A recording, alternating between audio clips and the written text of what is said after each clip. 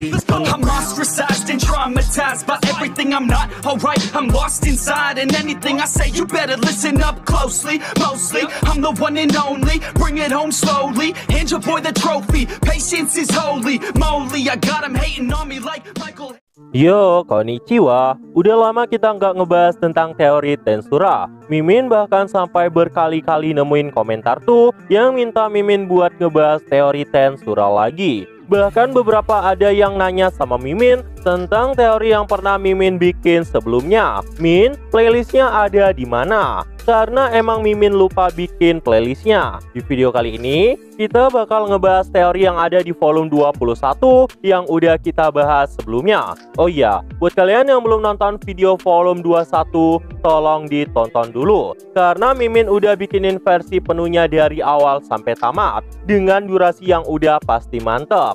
Linknya nanti Mimin tulis di deskripsi atau di kolom komentar. Oke, balik lagi. Karena memang sepertinya banyak yang bisa kita jelaskan dari volume terbaru kali ini. Dan untuk judul kali ini, Mimin bakal mengambil judul Turnul Rimuru telah membuat Zegion menjadi dewa. Di volume 21, ada pertempuran antara Raja Serangga Zelanus yang merupakan puncak hierarki kekuatan Insektar melawan Zegion yang merupakan salah satu bawahan terkuat Rimuru. Bayangin aja, Zelanus sebagai puncak hierarki saat itu memiliki eksistensi poin di kelas ratusan juta. Sedangkan Zegion cuma memiliki 5 juta eksistensi poin aja. Makanya, ketika Zegion lengah pertama kali melawan Vega, serangan mendadak Zelanus pun mampu menumbangkan Zegion saat itu juga yang membuat Diablo pun saat itu harus menggantikan posisi dari Zegion dalam bertempur. Sebenarnya di momen ini tuh banyak banget dari kalian yang berkomentar Kenapa sih Zegion bisa segampang itu di instant skill sama Zelanus? Sebenarnya jawabannya tuh simple banget Istilahnya tuh kayak gini Bayangin aja lu baru main game dan karakter game lu tuh baru level 5 Tapi game ampasnya malah nyuruh ngelawan last boss level 150 Ya udah pasti sekali geprek juga udah langsung lock out Apalagi kalau last bossnya yang nyerang tiba-tiba tanpa lu tahu. Oke, balik lagi. Sebenarnya, saat terkena serangan dari Zelanus waktu itu, tubuh Zegion mengalami kerusakan yang sangat fatal. Dan bahkan kesadaran dari Zegion gak bisa kembali bangun. Hal ini sebenarnya bukan tanpa dasar apa pun. Seperti yang kita tahu, labirin Ramirez memiliki kelemahan yang berkaitan tentang virus. Dan kebetulan kekuatan Zelanus punya ancaman yang lebih besar dari Vega. Jadi wajar aja kalau Zelanus menjadi counter dari labirin Ramirez itu sendiri. Makanya Mimin bilang dari awal, Ben Zelanus. Tapi kenapa coba malah Benana?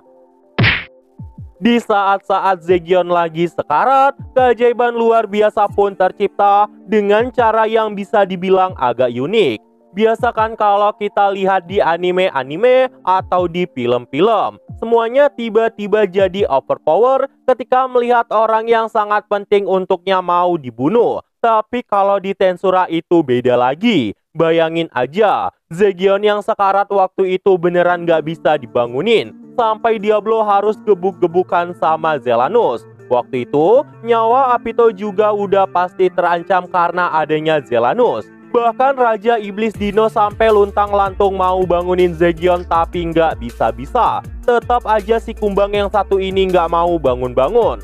Namun pas Zelanus menghina Rimuru, nih si kumbang malah langsung rilok. Dan kesadarannya langsung balik yang membuat seluruh tubuh Zegion saat itu bahkan sampai mendidih. Ya kayak di film-film gitulah.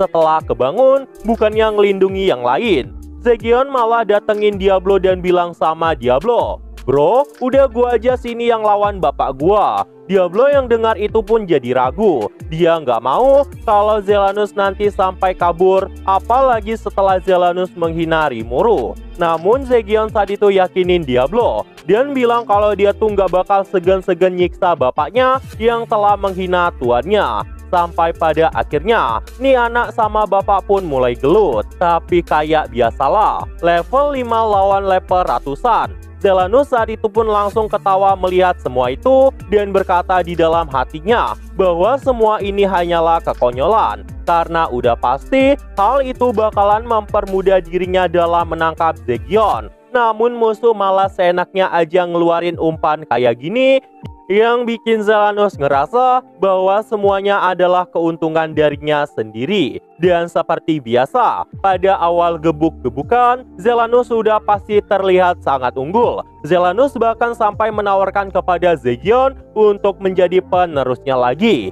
Namun Zegion menolak hal itu karena dia lebih milih sama Rimuru. Bahasanya agak mimin plesetin sedikit.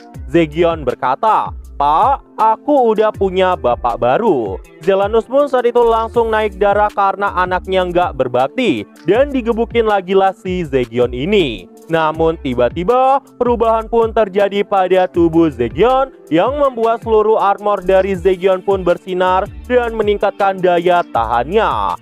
Zelanus pun saat itu tiba-tiba terkejut melihat kekuatan yang mengerikan tiba-tiba muncul keluar dari tubuh Zegion. Ini membuat situasi pun saat itu mulai berbalik. Zegion yang telah berhasil mengendalikan kekuatan besar itu pun berkata di dalam hatinya, yang durhaka itu bapak, kau bilang aku ini anakmu, tapi adanya aku cuma jadi makanan untukmu. Oh ya, energi yang digunakan oleh Zegion tidak lain adalah turnulnya Rimuru atau yang mungkin sering dikenal dengan sebutan Nihility Collapse. Seperti yang kita tahu, energi itu memang bersifat merusak karena ketika seseorang menggunakan energi itu, semuanya bisa merusak kendali tubuh pengguna itu sendiri. Namun memang berkat sial, Rimuru saat ini bisa mengelola semua energi itu dengan bebas Bahkan ternyata ada fungsi lain di balik itu semua. Rimuru juga sekarang bisa jadi powerbank yang membuat para bawahannya bisa meminjam kekuatan dari tuannya. Ya walau saat ini hanya tiga orang yang diketahui bisa meminjam kekuatan dari Rimuru. Tapi peminjaman kekuatan ini nggak berlangsung segampang itu karena ada efek yang sangat fatal di balik itu semua. Kekuatan yang dipinjam oleh mereka punya dampak mengerikan karena nggak mungkin ada yang mampu menahan kekuatan Turnul lebih dari Rimuru. Bahkan Benimaru yang pernah gunain kekuatan itu pun merasakan dampak yang sangat luar biasa dari serangan terakhirnya yang pernah meminjam kekuatan dari Tuan Rimurunya. Bahkan saat itu Benimaru juga terpelongo melihat Zegion yang bisa menahan kekuatan Turnul serama itu. Tapi sebenarnya kekuatan ini bukan nggak berefek sama Zegion. Efeknya memang sangat fatal. Tapi Zegion saat itu mencoba untuk menahan semua rasa sakit yang dirasakan oleh tubuhnya untuk membalaskan penghinaan pada tuannya. Dan dengan cara itu, situasi pun jadi berbalik seperti ini. Dan gak lama setelah itu, Zegion pun mulai gebukin Zelanus. Sampai di akhir gebuk-gebukan itu, Zelanus pun pada akhirnya mengakui kemampuan dari Zegion dan merasa sangat bahagia bahwa anaknya telah mampu melampaui dirinya. Karena dari dulu, sebenarnya Zelanus tuh pengen banget melampaui bapaknya juga. Bapak yang dimaksudkan oleh Zelanus tidak lain adalah Dewa Dunia Veldanava Makanya selama ini Zelanus terus mengumpulkan kekuatan yang lebih banyak. Dan pada akhirnya Zelanus pun saat itu menyerahkan skill ultimate-nya kepada Zegion yang membuat Zegion pun menjadi dewa insektar yang baru. Dengan menjadi dewa insektar, Zegion pun mulai menjadi individu yang setara sama Zelanus. Dan eksistensi poin Zegion pun telah membengkak 50 jutaan ke atas dengan kekuatan yang saat itu ada di tingkat dewa. Zegion pun telah menjadi hierarki terkuat dari ras insektar. Dan hierarki terkuat itu melayani sosok Raja Iblis Rimuru. Apalagi dengan berevolusinya Zegion menjadi Insect God pengendalian energi Turnol pasti akan menjadi lebih efisien lagi. Dan Mimin juga yakin kekuatan yang saat ini bisa dipinjam oleh Zegion dari Turnol milik Rimuru pasti akan menjadi lebih stabil lagi. Ya biar kalian sajalah yang membayangkan semengerikan apa Zegion yang sekarang. Nah jadi itu aja untuk pembahasan kali ini. Dan tunggu video-video gue selanjutnya dan see you!